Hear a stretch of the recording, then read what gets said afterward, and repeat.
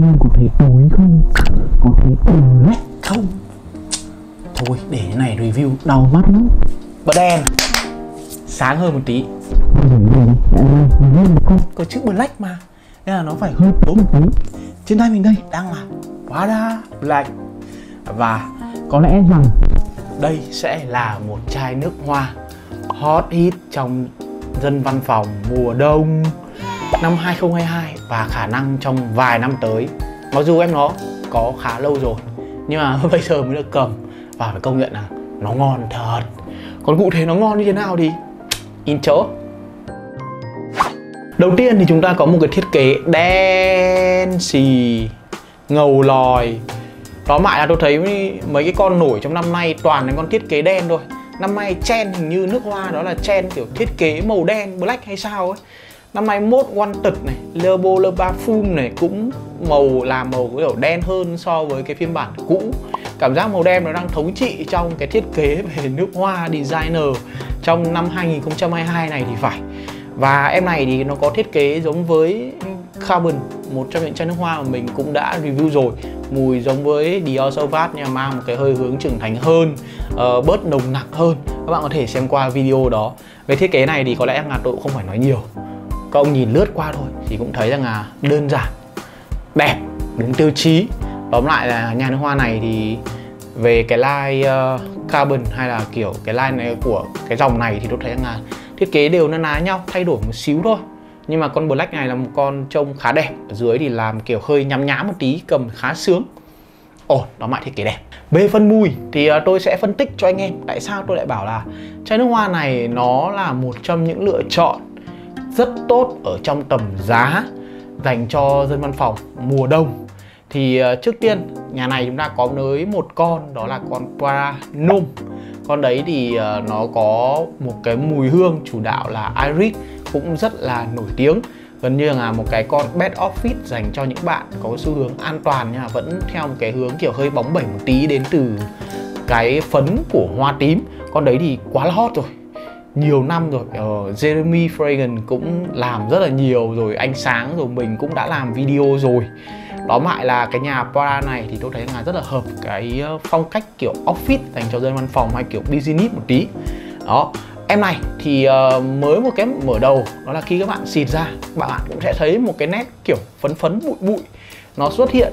Cái nét phấn phấn bụi bụi này nó có thêm một cái điều đặc biệt đó là ngửi nó cảm giác nó hơi ẩm ẩm một tí nó hơi ướt ướt một tí cảm giác kiểu của đất ấy thì ở đây mình nghĩ là đến từ patchouli. Tôi hoàn toàn chưa xem hết tất cả những cái nốt hương của con này mà toàn bộ là tôi trải nghiệm cá nhân.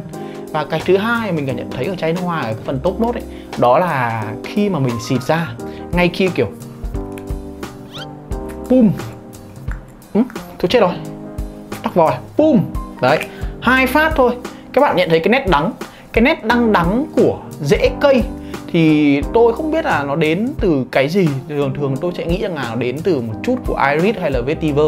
Nhưng mà tôi thấy rằng là về sau ấy thì nó không lên cái nét của vetiver lắm. Nên là tôi nghĩ rằng là nó đến từ một cái loại cây gì đó. Nhưng mà cái nét đắng đắng này cùng với cái nét kiểu bụi bụi bụi, bẩn bẩn một tí đất ất, ẩm ẩm. Thì cái top nốt này nó làm cho tôi có một cái suy nghĩ ngay. Đó là đây là một mùi hương quá nam tính luôn. Nó nam tính thực sự luôn đấy ngay khi mà mình xịt ra lần đầu tiên nhá, mình đã bảo đây đây rồi. Đây chính thức là cái mà mình tìm dành cho nước hoa văn phòng ở cái phân khúc loanh quanh tầm ờ, 1 đến 2 củ.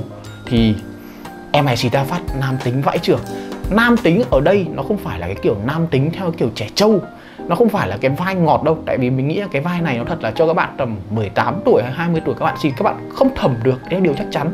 Đây là một cái mà mình nghĩ rằng là nó sẽ phù hợp cho office nghĩa là dành cho những người đã ra đi làm độ tuổi cụ thể tầm từ 23 đến 25 và sau đó ấy, thì các bạn sẽ nhận thấy rằng là cái nét bột bụi này nó kéo dài trong một cái thời gian khá dài. Và lúc này thì cái nét đắng đắng hơn gần như nó biến mất và các bạn nhận thấy rằng là cái nét nồng ấm rất đặc trưng có nét hơi cháy nhẹ. Thực ra còn tôi thấy rằng là nó khô nhiều hơn là nó cháy.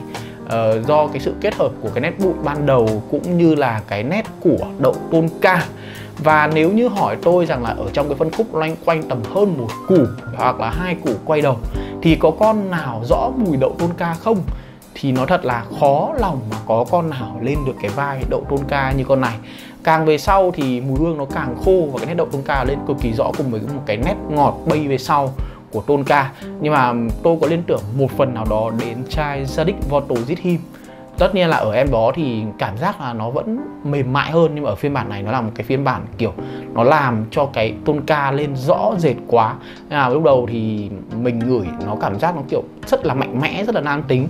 Còn Zadig Bottle Zithim thì nó kiểu mình nói rằng là nó an toàn nó là vani cùng với tiêu cân bằng, nhưng mà ở đây thì lên tôn ca cực kỳ rõ luôn. Và nếu như bạn muốn biết tôn ca ở trong nước hoa như nào thì hoàn toàn các bạn có thể thử con này. Mặc dù ờ, đậu tôn ca thì bây giờ đã sử dụng cái ờ, nguyên liệu ờ, gọi là accord nhân tạo hết rồi. Đặc biệt là những cái chai designer thì nó không có cái chiết xuất từ đậu tôn ca từ tự nhiên đâu mà toàn bộ thì nó là coumarin hết rồi. Ờ, càng về sau thì mùi hương này nó như kiểu là một cái chiếc áo mỏng khoác lên trên da của bạn vậy. Và lúc này thì bạn có thể mặc thêm một vài cái lớp áo nữa nhưng mà lúc nào cái mùi hương này nó cũng kiểu trở thành một cái lớp rất mỏng ở trên da bột bụi ngọt rồi có cái nét nồng ấm nhưng mà nó có cái độ tỏa khá là vừa phải. Thế nên là mình mới bảo là con này kiểu dành cho văn phòng là quá hợp. Các bạn đi chơi thì nhiều khi nó sẽ không đủ gây chú ý nhưng mà ở trong văn phòng ấy thì chúng ta cũng cần phải sử dụng nước hoa nó tinh tế một tí tránh gây cái việc là khó chịu cho những người xung quanh. À, em này thì cảm giác kiểu xịt một cái đâu tôi nghĩ luôn. Đây chắc chắn là một trong những chai nước hoa dự báo là quốc dân trong một vài năm tới ở trong cái phân khúc lựa chọn cho dân văn phòng ở miền Bắc miền kiểu có gió lạnh. À, đặc biệt là Hà Nội thì các bạn hoàn toàn có thể thử chai nước hoa này.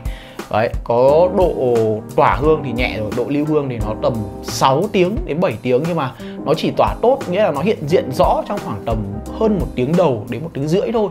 Về sau thì nó trở thành một cái mùi skin scent nhẹ nhàng, các bạn phải đưa mũi lên thì các bạn à, đưa lên mũi, nhờ phải đưa mũi lên, mũi thì ở trên này rồi.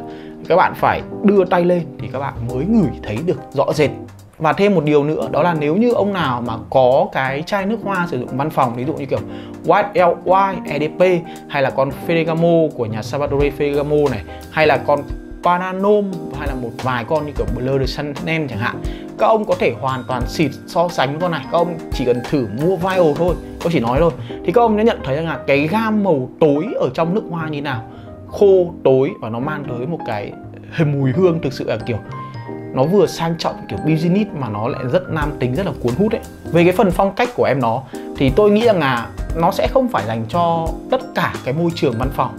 Ở môi trường văn phòng ở đây mình có thể nói là từ nhà nước, cho đến làm sale, bất động sản, làm IT nhưng mà với mình thì em này nó có một cái đặc biệt hơn, tại vì cái hơi hướng làm tôn ca cùng với patchouli chuli ờ, đất đất ẩm ẩm bụi bụi ở đây thì nó làm cho mình liên tưởng tới một cái vai khá là kiểu hơi bảnh bao lịch sự và có phần hơi kiểu bí ẩn một tí. Nên là khi mà mình gửi em nó thì mình sẽ nghĩ tới một cái kiểu ăn mặc, đó là các bạn sẽ giày tây, các bạn sẽ mặc quần âu, các bạn sẽ mặc những cái áo polo và cài hết khúc cổ nếu mà những cái ngày mùa hè mà các bạn ngủ trong điều hòa. Hoặc là nếu như những ngày mùa đông thì các bạn có thể mặc sơ mi cùng một chiếc áo vest, kiểu như vậy. Đó lại là sẽ dành cho những cái phân khúc kiểu làm văn phòng mà các bạn đề cao cái vấn đề ngoại hình cái vấn đề trang phục và có cái xu hướng kiểu tiếp cận những cái tệp khách hàng kiểu lịch sự uh, yêu cầu kiểu ngoại hình nhiều thì đây là một chai nước hoa hoàn toàn thể. Nếu như mà cả Blur de Chanel càng ngày nó càng lên giá thì đây là một trong những chai nước hoa quá ổn. Tôi nói thật Blur de Chanel bây giờ cảm giác kiểu người đâu đâu cũng thấy rồi đặc biệt là ở mấy anh sơ mi quần âu rồi mặc vest uh, kiểu dân ngân hàng hay là kiểu sale sử một thứ người thấy nhiều. Nhưng mà ở chai nước hoa này tôi đảm bảo là nó sẽ không đụng hàng. Tại vì em này thì nó cũng mới ra mắt một thời gian nhưng mà tôi có nghe ở trên cái chia kênh Charles Fagan à. bạn ấy có nói rằng là chai nước hoa này đã ngừng sản xuất nhưng mà hôm trước tôi hỏi Bờ Lăng thì Bờ Lăng bảo là không người ta lại thông báo là người ta sản xuất lại rồi nên là em cứ tự tin mà review. Thế là tôi bảo ok ok thế thì gửi cho em. Tại vì tôi cũng nghe chai nước hoa này trên thế giới được khen rất là nhiều. Là tôi cũng rất là tò mò và thực sự là đến cái hôm vừa rồi tôi thử. Và tôi có live stream ở trên tiktok uh, tiktok vài buổi thì các bạn nói rằng ui con này ngon lắm anh hay dừng gem đấy chẳng hạn. Uh, rồi một trong những chai nước hoa mà rất ngon mà ít người biết tới. Thế nên là hôm nay thì tôi xin phép được nói rằng là đây là một chai nước hoa thực sự rất ngon. Tôi xác nhận thông tin là như vậy. Và xin được dự báo đây là một trong những lựa chọn dành cho dân văn phòng. Ở loanh quanh cái phân khúc tầm hai củ đổ về quá ngon cho mùa đông luôn. Ôi trời ơi, ông đi giữa một dàn Blur de Chanel chẳng hạn thì ông xịt con này ông sẽ nổi bật luôn. Chắc chắn luôn. Vẫn câu nói quen thuộc nhưng mà rất ít khi xuất hiện đó là ngon đấy mua đi không lại cháy. Ui ngon thật nam tính có một cái tí hơi hướng của ờ, uh, Dior Home Ten nhưng mà không bị hẳn cái vai như vậy. Có một tí hơi hướng của Baranom nhưng mà cảm giác nó uh, chắc là nó sẽ dễ tiếp cận hơn nó sẽ hòa đồng hơn. Chứ không kiểu Baranom nó thiên hướng nhiều hoa quá. Con này ngon thật. Cảm ơn các ông nhá đã recommend em này. Ờ, video chỉ thế thôi tại vì ngon quá không biết chê cái gì nữa chắc là các ông đang chờ đoạn chê như bao video khác đúng không? Đó lại là con này với tôi nó quá ổn ở trong tầm giá của nó. Không có gì tôi phải chê trách cả. Chỉ đơn giản là nếu như ông không phải tôi và ông thích một cái mùi nó bám đoạt tốt uh, lúc nào cũng xuất hiện này đặc biệt là những mũi ban đầu thì tôi nghĩ đây không phải lựa chọn đâu. Tại vì với một cái tệp người sử dụng như tôi vừa miêu tả kia thì người ta cũng có một cái tệp khách hàng riêng chứ không phải là những người thích cái sự nịnh mũi. Tôi nghĩ là như vậy. Nên là đây là một con rất ngon đó và đó là cập nhật của mình về Prada Black. Và nếu như các ông thấy video này hay thì đừng quên việc like, share, ấn nút chuông theo dõi để nhận được nhiều video mới hơn. Bây giờ thì xin chào hẹn lại. Bye.